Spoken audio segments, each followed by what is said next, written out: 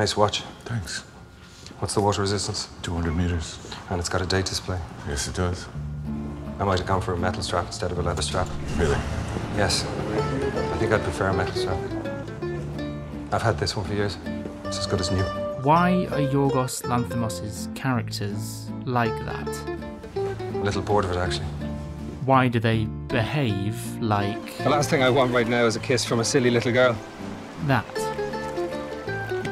Oh. Or like this? Spread your legs. It's like watching beings who've observed human behaviour trying their best to replicate it, but just falling short. But this type of characterisation is seen far too often in the Greek filmmaker's work to be understood as just a gimmick. There's something deeper going on here. From his early Greek language films like Dogtooth and Alps to his more recent English language work, The Lobster, The Killing of a Sacred Deer, and The Favourite, Lanthimos' characters have been delighting and bewildering audiences for years. This is Robert. He stays in the room next to mine and has a lisp. Lanthimos and frequent writing partner Efthimis Filippou's idiosyncratic approach to character is part of the reason you know you're watching a Yorgos Lanthimos film. Okay, you do have more hair than I do, but not three times more. Surreal dialogue and deadpan delivery reveal characters who feel enticingly familiar. Mama, μπορώ να έχω το τηλέφωνο. Yet, at the same time, utterly strange. But why are they like that?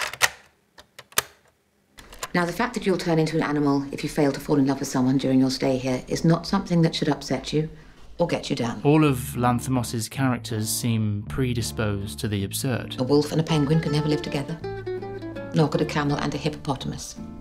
That would be absurd. Think about it. His worlds are filled with bizarre rules, but rules that everyone in those worlds accept. Now, have you thought of what animal you'd like to be if you end up alone? Yes, a lobster. Lanthimos rarely lays out these rules plainly at the start of each film. We often aren't aware of their origin. Instead, they're revealed through the way in which the characters engage with the world. And as the characters accept them unquestionably, so, as the audience, do we. What becomes apparent is that the character's relationship to the rules is more important than the rules themselves. They accept their predicament blindly, and even when they try to find an escape, they do so within the rules prescribed for them. They never simply say, This is absurd. Instead, they try to find a way to succeed, whether that's by manipulating their own characterization as a way of fitting in. I think your nose is bleeding. Really? Oh no. This happens to me all the time. Or by justifying their own disturbing choices, as if they aren't simply the lesser of the limited options available to them. I believe the most logical thing, no matter how harsh this may sound, is to kill a child. Because we can have another child. I still can, and you can. And if you can't, we can try IVF, but I'm sure we can. What's even more telling about what Lanthimos is communicating to us is that when his characters do finally escape one system, they simply end up in another. By the way, any romantic or sexual relations between loners are not permitted, and any such acts are punished. Is that clear? Writers have been hiding deeper meaning beneath realistic and metaphorical dialogue for centuries. To some degree, we all speak that way every day. Whether it's to hide our true feelings, to spare someone else's, or simply for dramatic effect. What's the most you ever lost in a coin toss? Subtext infers a character's true motives in a way that mimics real world conversation. This builds up a sense of a character's wants and needs, pushing the narrative forward while letting the viewer empathise with whoever they're watching. But Lanthimos strips his characters of this mechanic. Do you actually believe another day will make a difference? Have you seen how ugly you are? thus refusing to infer hidden personal motives, and instead revealing his characters to be pawns in a much larger world. A world over which they have no control, a world in which they have no impactful feelings to bury, and a world in which the rules define their actions, not their desires. Can we not do this today? It's awful. I know. but I'm afraid we have to do it. And so, if a character's personal desires are less important than their response to the rules of the world around them, subtext, too, becomes redundant, revealing everything we need to know about the social dynamics of the world we're watching, without forcing us to decipher ambiguous language. That makes total sense. Lanthimos' unusual approach to dialogue also reveals a huge amount thematically. It's metaphorical. His characters are often disturbing to an audience. She jumped from the window of room 180. Not because they have something to hide, There's blood and biscuits everywhere. but because they reveal everything they're thinking, I hope she dies right away. even when the moment doesn't call for it. I can't hear you with all the screaming. His films typically tackle dark subject matter, relying heavily on Greek tragedy and myth to create uncomfortable situations which satirically reflect our own world. Yes, it's exactly what you think. Just like you killed a member of my family, now you gotta kill a member of your family to balance things out, understand? His character's deadpan delivery of often bizarre dialogue is a way of disarming the audience. Bob will die, Kim will die, your wife will die. putting us at a remove from the world of the film. We become voyeurs of something uncanny that might otherwise disgust us if it didn't amuse us. Don't worry, you won't get sick. You just gotta stay calm, that's all.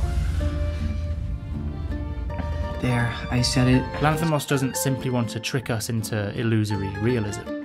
He likes to remind us that we're watching actors acting, so as not to get in the way of his abstract ideas about societal control and emotional belonging. If his worlds were too realistic, his ideas would be far less palatable, lessening their impact.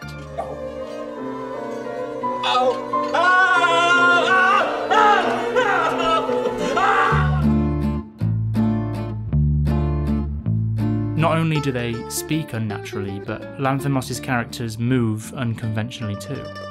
Through his characters' often rigid and awkward ways of holding themselves, he's able to express themes of societal and group conformity and the desire for individuality, simply in the way his characters exist in physical space and in the company of others. Have you ever danced with anybody? Yes. In doing so, he examines the benefits of group compliance versus the price of societal and personal liberation, all without his characters uttering a word. Lanthimos' characterization facilitates our entry into his philosophical ideas.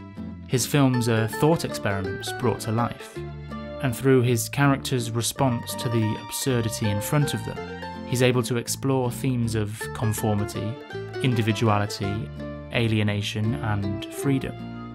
He's able to show that there are times when belonging may be more beneficial than escape, but that our conformity is often equally as absurd as that to which we are conforming.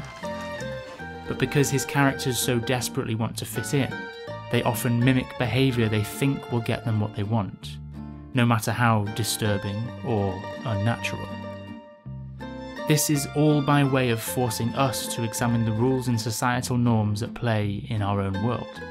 By observing characters who operate outside of convention, we're forced to wonder what arbitrary rules we accept just because society upholds them as the norm.